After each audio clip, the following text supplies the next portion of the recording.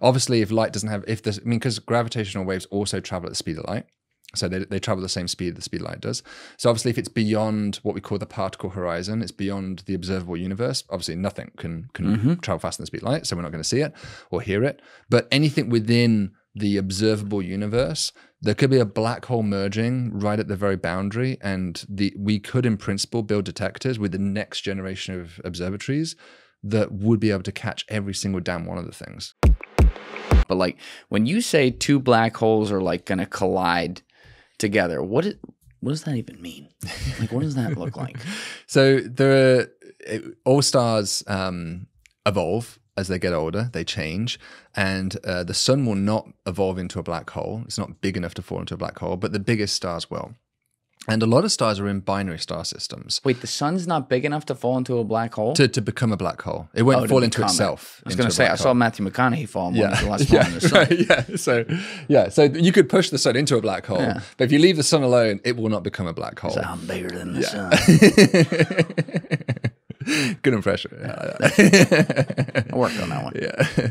we so we don't think that's going to happen to the sun, but some of the biggest stars will do that, and lots of the big stars actually live in pairs. Um, they're kind of you know our sun's pretty lonely, but a lot of stars are binary or even trinary, um, so they mess around. They're they're not monogamous. They you That's know, right. They're, they're polyamorous. yeah, exactly. Polyamorous stars. They have, they have their swinger parties out there. That's right. And as they um, as they evolve and get older, uh, they can they, these stars eventually slowly kind of spiral in towards each other. And there's various ways that can happen. There's lots of people studying exactly different mechanisms that can happen. But generally, there's you know we expect this to happen. So as they get closer and closer and closer, these binaries will merge eventually. And um, when that happens, we get these like ripples through space time. So it's it's not really light. There is there is some light effect as well, but primarily the main effect you see or hear is a ripple in space time itself. And so that's what these um, gravitational wave detectors like LIGO have been uh, so successful at. So we've detected something like a few hundred merging black holes by hearing them them merge together. And what's really wild, we we have a new faculty We member. can hear it. I mean, it is basically a sound wave propagating through space time. You just hear like black hole just got sucked up. Yeah. If you, if we, yeah, I mean, it is actually technically possible because it, it, it shifts space, it bends space. And that's what a sound wave kind of does. It compresses air. So it causes a compression wave. So it is possible um, that you could, if you were near one of these events, you could actually hear it with your own ears, which is really That's crazy. Even in the vacuum of space. So they say in space you can't hear anything, but if you're near a merging black hole, certain configurations you would actually be able to hear those frequencies. I think my colleague Janna Levin told me that, and I was like, that is that is wild. I love Oh that. my god. So that's yeah, it is literally like hearing the universe, these effects. So it's a completely different way. I mean, for 400 years of astronomy, we've just been using light, X-rays, photons. It's all light. Whereas um, this is like radically different. This is this is like ripples that you're feeling in space itself. So that's that's been pretty mind-boggling. And uh, we're what's really crazy is that if we keep doing this, if we build even bigger versions of these detectors, um, these telescopes, these I mean they're kind of like a telescope, these gravitational wave detectors, they they can be in principle so sensitive that we could detect every black hole merging in the entire universe. There wouldn't be a single black hole merger that we would not be able to detect. in the whole universe when we don't even know the size of in it? the vis what, what I mean is the the visible un- the universe Okay. that uh, light has time to Got it. reach us. Obviously, if light doesn't have if this I mean because gravitational waves also travel at the speed of light. So they, they travel the same speed the speed of light does. So obviously, if it's beyond what we call the particle horizon, it's beyond the observable universe. Obviously, nothing can can Mm-hmm. travel faster than the speed of light, so we're not going to see it or hear it. But anything within the observable universe, there could be a black hole merging right at the very boundary, and the we could, in principle, build detectors with the next generation of observatories that would be able to catch every single damn one of the things. Hey guys, if you haven't already subscribed, please hit that subscribe button. It's a huge, huge help. Thank you. What's the relation of time there, though? And here's what I mean by that. You know, a hundred years passes here on Earth, but if something exists fucking 12 million light years away or something, is the same. This is getting to kind of the interstellar plot too. Yeah. Is the same amount of time one second there? Like if if a, if if we're detecting something with black holes, like you were just talking about, that's happening way over here, and it takes 200 years to develop here on Earth? Is Yeah. it really just taking a totally different form of time, longer or shorter, to actually develop out there? And how do we know that? Yeah, I mean, it depends where you put your clock. So we've got one clock here on the Earth, but where's this other clock you're putting exactly? Is it because you say like put it in the system, but if you put it the closer and closer you put it to the horizon of the black hole, the slower that clock will tick, and eventually, as it's on the event horizon itself, it will stop ticking. So if you if you watch someone fall into the black hole. Like say I was falling backwards into the black hole and you were watching from the spaceship above going, eh, have a good time watching, watching Matthew McConaughey fall down.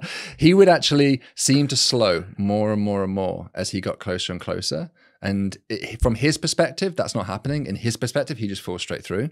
But from our perspective, watching him fall, he would seem to slow down more and more and more. And he'd also get redder and redder and redder because the wavelengths of light now have to it's kind of like um, a gravitational well it is literally a gravitational well it's like a hill and so the light now has to climb out of that hill. And as it climbs out the hill it's like it's losing potential energy and so it it shifts it's called a gravitational redshift it shifts from let's say it was blue light coming off his helmet it shifts towards the red by that same effect we talk about with the expanding universe Yeah. so he would look redder and redder and redder and fainter and fainter and fainter. And eventually he would almost go invisible, be far redder than our eyes can see, and completely freeze on the surface. So the, we, were- you would never actually witness him past the event horizon until the literally the end of the universe itself. He'd be stuck there from our perspective. From our, per- but it's it's not what happened. But from his, I mean, we don't really know what happens inside the event horizon from his perspective. That's where physics kind of breaks a little bit. once you That's go- crazy though that like you you're telling me I could physically like take a clock that's moving and when I that clock itself when I'm getting close to this hole it slows down to like a stop. yeah, yeah, It sounds like a DMT trip. you're right. It doesn't even sound real. Like the so the clock DMT knows trip. like oh he's near a black hole. Stop ticking. Yeah. There are so many questions about yeah, I mean we know we know pretty well what we'd expect to happen from our perspective. And the the mystery I always think about is what does yeah Matthew McConaughey experience? Like what what does he see from his hmm. perspective? And you know, if I was given the choice, like you, you know, let's say you're like you've lived your life, you're 75, 80 years old, and you're like, okay, I've only got a year or two left to go. Um, I'd be quite tempted to throw myself into a black hole given the option, just to like see. Because Yeah. it, it's like a one-way trip. You can never tell anyone what you see. Once you go through that event horizon there's no way you can ever send information back out. So you're what what you know is for you and for you alone. And you would be the only human being the, the only individual who would ever actually know what happens inside a black hole. Now, what if, what if our bodies here are just containers of the soul, which, you know, some religions posit. yeah And when you die physically, your spirit actually, it turns out, we figured out after death, passes through something like a black hole to some other side or some other dimension or something like that. Perhaps you might, and I'm totally like riffing right here, but perhaps maybe you would experience something similar to what the actual, like, oh, I'm 75, I got a year or two left, let me just fucking send it and fall into a black hole. I've heard wilder ideas for what happens in the afterlife. I put it that way. yeah, I mean, it's uh, they're kind of the uh, like. There's something about black holes that are like a cheat code to reality itself. The- This, they are they they are a break in the rules of the universe itself, where you know the, there's these holes that punch through space and time, and all of our questions about you know one of the grand goals of physics is to try to unify quantum physics which is a theory of the very small, with um, general relativity, the theory of the very large. And at black holes, those two worlds meet. And it's pretty much the only object we know of where both of those physical effects manifest in meaningful ways. So, you know, there's this paradox with black holes called the information paradox, which is like what happens to stuff that falls in. Quantum theory says that you can't delete information.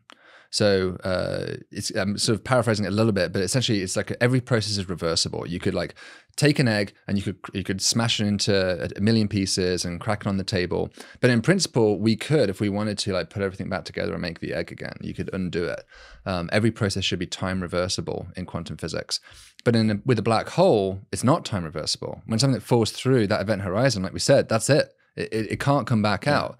So um, there's a another way of saying that is that you've lost information. The universe has like erased, it's deleted information that the universe once had. Unless it was a textbook with, um, you know, your a biography in it or something. All those words, all that information is gone forever. And quantum physics just can't handle that. And so a lot of physicists are thinking really hard. This is why it's a paradox. It doesn't make any sense. There must be a way for that information to somehow get back out. And one of the ideas that mm, seems connected is that Stephen Hawking had this brilliant insight of something called Hawking radiation. We now call he didn't call it that. We call it Hawking radiation. You're a bit of a jerk if you call something after yourself. Right, I yeah, you gotta wait till you Kipping die. radiation. But yeah, he called it. Uh, he got called this afterwards. But he basically showed through you know th- some quantum arguments that you you should expect black holes to evaporate over time To so they- evaporate. yeah, they don't last forever either. So um, uh, the the kind of the the cartoon way to understand this is to imagine that a pair of particles pops up into existence, which happens all the time, even in this room right now in empty space. There's constant virtual pairs of particles popping up, and antimatter and matter pop up and immediately annihilate each other so fast that we don't even really have time to see it. And quantum physics says that happens all the time. It's in, and it's very well understood and observable. Um, so this should happen on on the event horizon of a black hole. So you've got this boundary. Everything on this side falls in, everything on the other side can escape in principle. And a, a pair of particles could form right in that threshold. One of the guys falls in, and the other guy has the opportunity to potentially escape.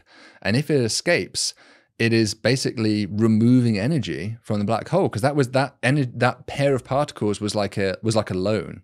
It's like mm. borrowing money from the bank, and so somehow now that that dollar that you loaned has escaped. Yeah, and so take it away. the black hole has to lose that dollar, has to decrease in its mass to accommodate for that. So this Hawking radiation effect causes black holes to very, very, very, very slowly um, lose mass and evaporate, which is interesting then from the perspective of what happens if you fell in. If time really does get massively distorted, you could, in principle, observe this speed up effect of seeing your own black hole that you're inside evaporate whilst you're in it and disappear. Is there also a maybe I'm totally misinterpreting this with the example you just gave, but is there also like a Schrodinger's cat type idea there where there's two possibilities of what happens to the same person, meaning they fall in or they escape? Well, not exactly in this analogy, but you could imagine experiments like that. You, Okay. you could certainly imagine um, having some, you'd have to have some kind of random 50 50 quantum coin that's like, okay, 50% of the time, um, this rocket's going to blast you into the black hole, and 50% of the time, you're going to stay inside this uh, inside the ship.